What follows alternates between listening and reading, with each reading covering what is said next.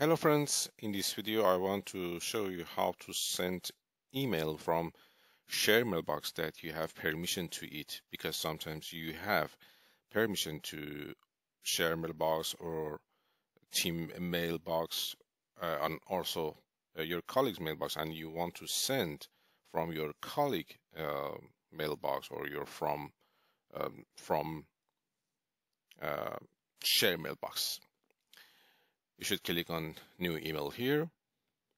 And under option here you can find from and click on it. And you can see here click and uncheck and check again see?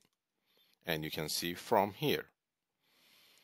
And you, you can click on it from and find other email address here.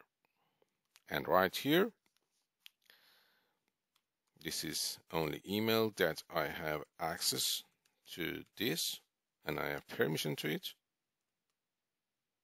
And right here what is receiver?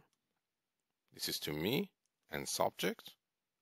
This is test and test. And you can also want to delete signature and right here